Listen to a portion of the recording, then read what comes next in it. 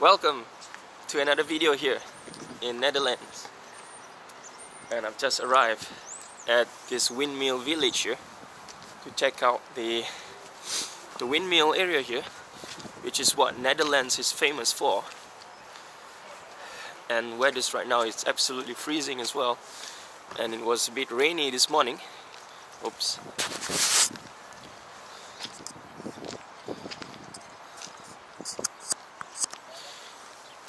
yeah so I'm here at the windmill village here in Amsterdam on the countryside. As you can see the river here which flows throughout all the other side of that area and I can see it because on my way here in the bus and there's a lot of streams here that cuts across all the wetlands here in this area of Netherlands. Since Netherlands is so low I mean it's just one meter above sea level so there needs to be a lot of streams here. And that is how they manage the the water system here, I guess. I don't know how to say it really, but that is how they manage and prevent floods from all around the country. And next to me here we have a souvenir shop as well as some cafeteria that sells ice cream, hot wine as well. It is the Sansleel. And as you can see over there, look at all these streams here and all this river here. Like these mini mini streams, they eventually lead to a bigger river here in Amsterdam. And over there, which is where I'm gonna go as well, you can see the windmill there facing across the, the wetlands over there. And I apologize because it is windy here. But I thought I still want to show you this amazing country on the countryside.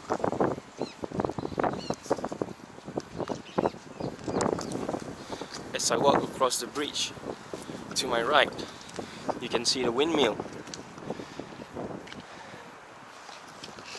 there is a huge windmill here.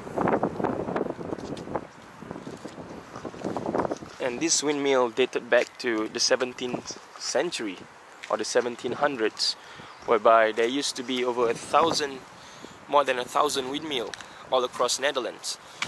But as the country thrives um, there's only about a thousand windmill left here in Netherlands spread throughout the various um, countrysides and what they use for windmill is to generate electricity as well as to help break down um, small little um, pebbles here or like concrete or stuff like that they use windmill for various kind of things back in the past but because it is so expensive to maintain there's only about a thousand windmill left all across Netherlands here.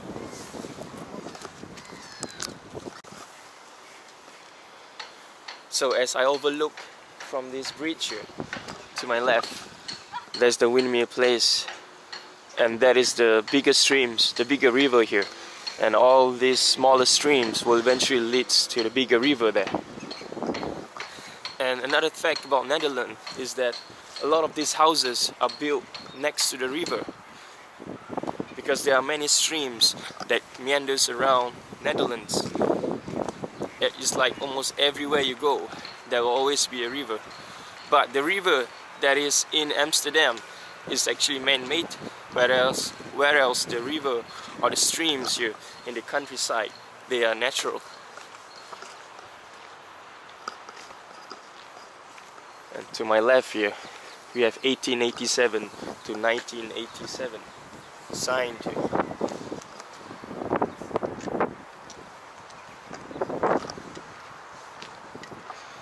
and that's where I got dropped off right over there at the car park. And then I've walked all the way here here to face the back of the windmill.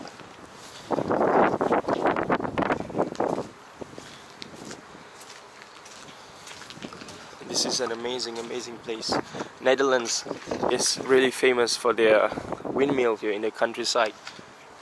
And as soon as I cross the border of Germany towards um, Netherlands you can already start seeing huge windmills here spread all across the country. And to my left here this is actually the cheese factory whereby I'm gonna go inside and check out some cheese. Here we have birds and chickens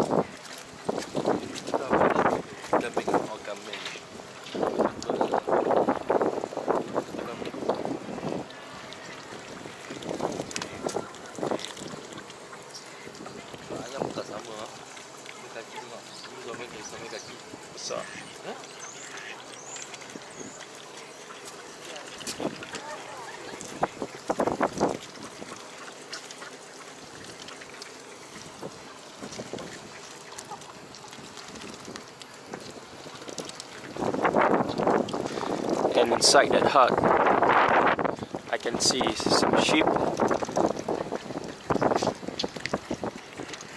I don't know if you can see because it's black. So windmills like this are not common now in Amsterdam. What is common is the windmill that is white in color and is huge. Because windmills like this are built in the 17th century by people but because it is so hard to maintain and it's so old-fashioned that the government decided to destroy and there's only about a thousand of windmills left. But the most common windmills that I managed to see around Amsterdam are not wooden windmills they are more modern windmills. So here is the cheese factory. And they sell different kind of cheese here but most famously they sell cheese they are made in Netherlands if my facts are correct.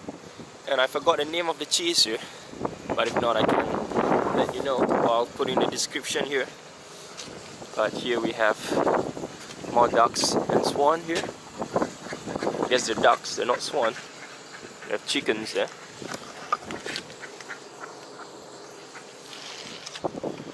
Alright, I'm gonna go inside the cheese um, shop here I don't think I'm allowed to film but we're gonna continue on with our journey here in the windmill uh, village here in Amsterdam after I visit the cheese factory I mean the cheese the cheese shop.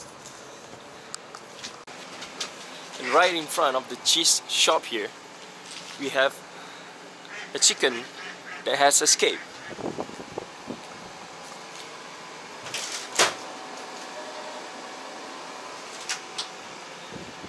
and if you look at the chicken here the chickens are really fat. Because what they do here is that they really feed the chicken properly. They really take care of their animals here. And I've been observing that there's a lot of fat chickens and fat ducks here. And it's very different. Could be a different breed but they're really fat because they are really um, fed properly here by the people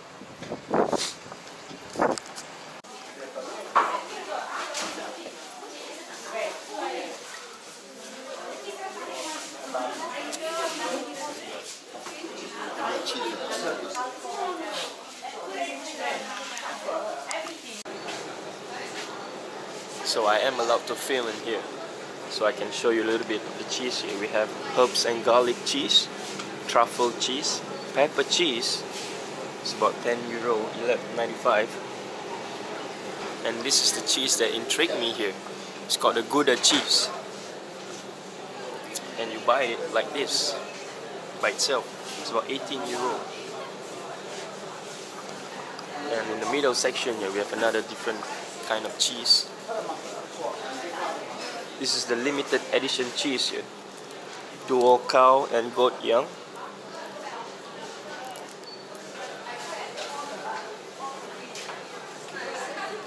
We even have forest mushroom cheese made in Holland. Henry Wick cheese.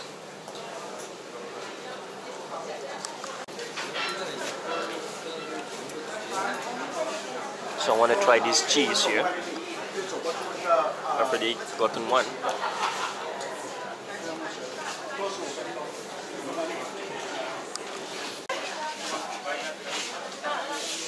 The chicken has entered the shop.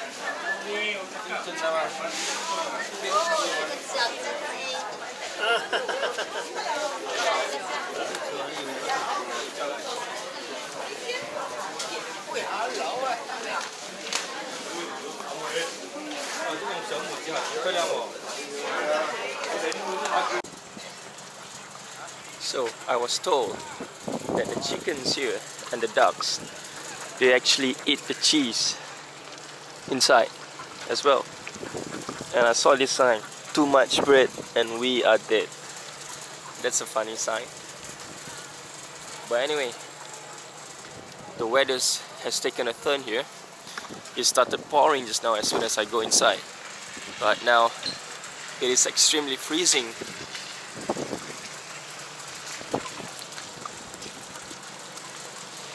but we're still going to continue our journey to the other side as we're going to explore those sides of the windmill here.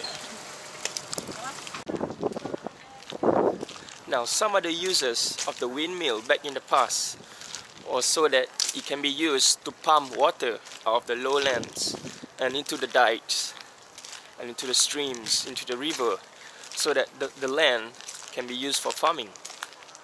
Besides using it for electricity and to power up their lamps back in the past they also use it for agricultural activities. As you can see here the streams. And I told you earlier on that Holland is a lowland country whereby it's just one meter above sea level. So you can see there are many many streams here. And, and as I point the camera in the distance you can't see but there's a huge river there. And all these streams like I mentioned earlier on will end up in the biggest streams which is the, the river there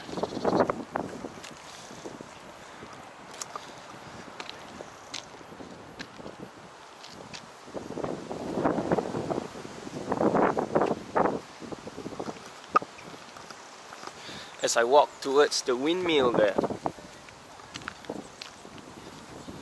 You can see that back in the past all these lands here are used for agricultural activities such as farming such as lands for their cattle and there is the biggest stream there.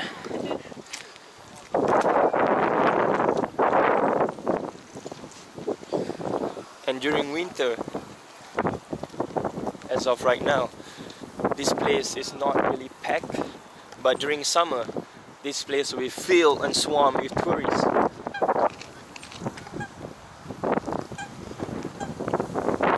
And up in the distance we have factory pumping up gas into the atmosphere.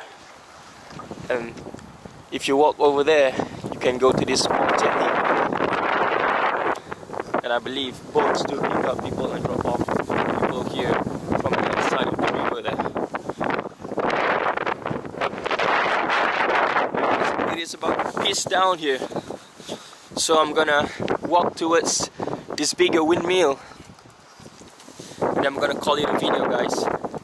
Because there's nothing much to explore here really.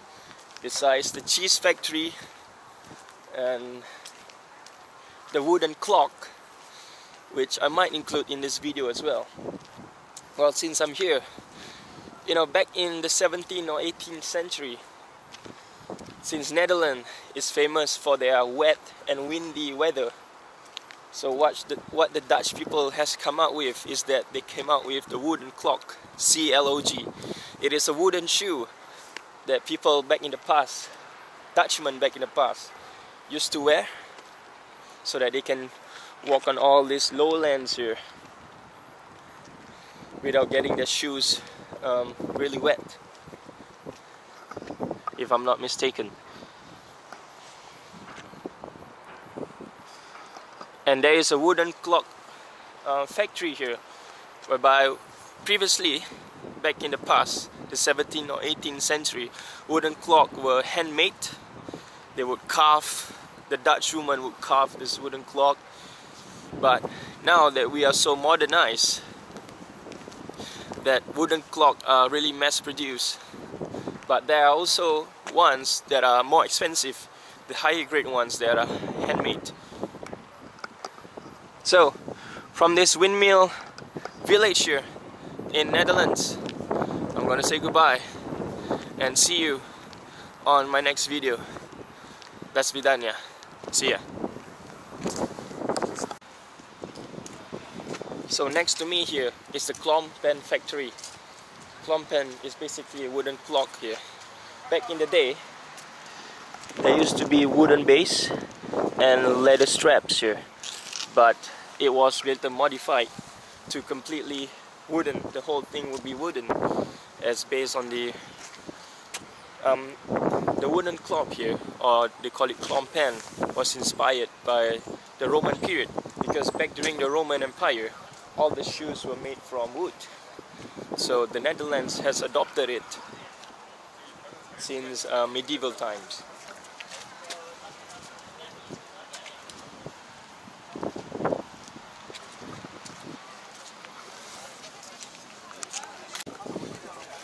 Klompenmakerij Wooden Shoe Workshop Museum 3 and 3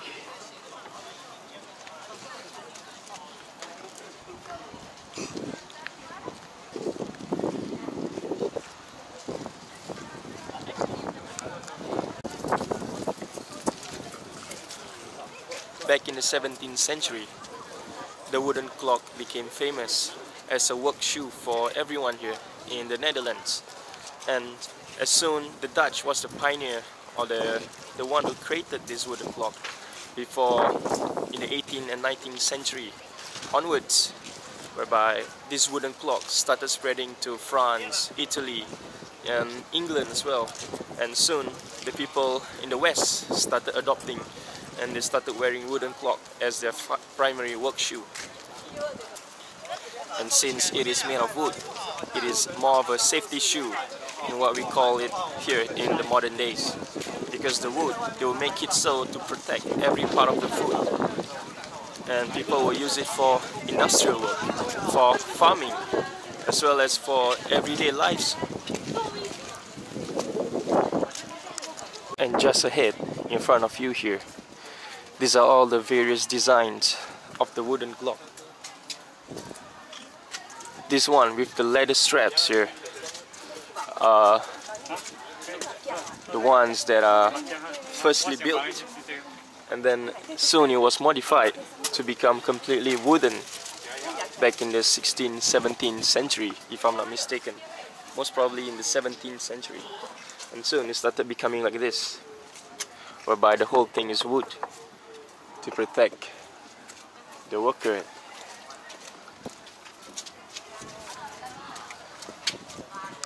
Wow, we have people filming documentary here about this place, about the wooden clock.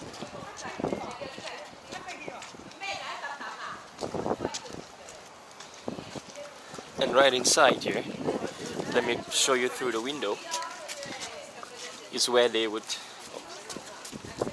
try not to photo get in the way of people take photographs. So inside is a shop whereby they do sell all this wooden clock here. And I'm gonna go and check it out. Let's check it out. Winter opening hours 8 to 5 let's go in and check out all this there's a shoe here called Volendam Marken this is more during the period of the Roman Empire whereby it's just wooden shoe and not much design.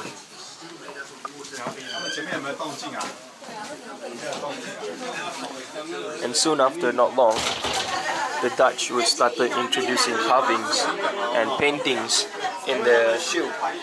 It's frosted.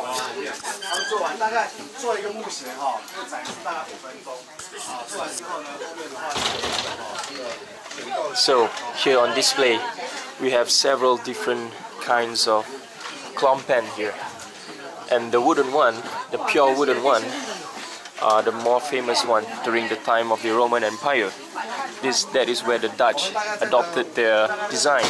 And then they came out with the one that has the wooden strap here before it was later on modified to become completely wooden.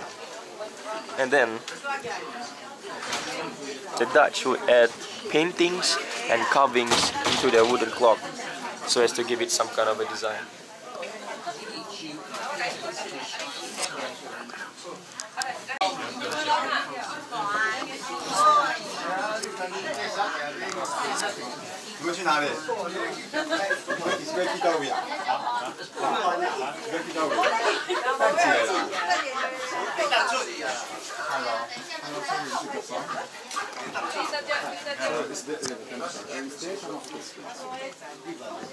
This kind of shoes are famous during the Roman Empire because the Roman Empire, yeah, the soldiers or the kings or everyone, their workers would use wooden clocks like this. But it is not the same one that the Dutch has invented or pioneered. And to the right, you can see photographs of all these historical moments. And there's a long line here of tourists. But I want to see it. And the more modern wooden clock here in the 18th and 19th century, whereby they started to add designs and paintings to make it more formal and more special. So since Netherlands are really famous for their bicycle, this is what the people used to have in the early 19th century. And this is more of the design that they started carvings into their wooden clocks or their klompen.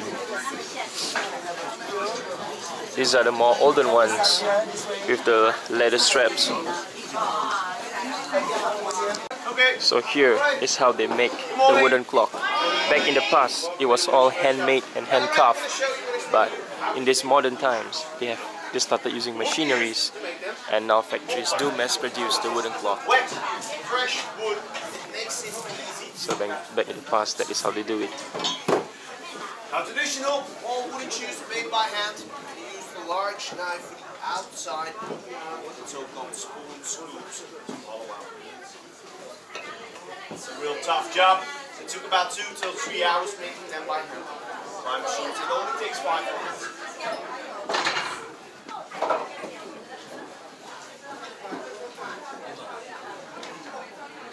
And make the outside, same system as duplicating keys. This part follows the model, the knives cut out the exact same shape.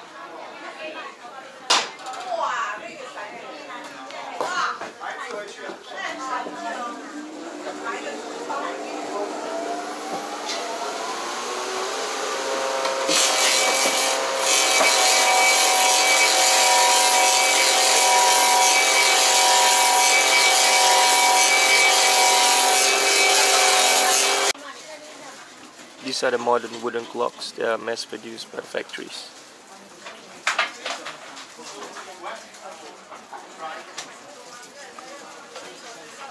Let's check out the shops here. We have more design. We have the ones with some wax in it and some pure ones. This one costs about 58 euro and the basic one costs about 32 euro. Alright guys, so that's it for me here in the Windmill Village here. See you on my next video. That's it done. Bye bye.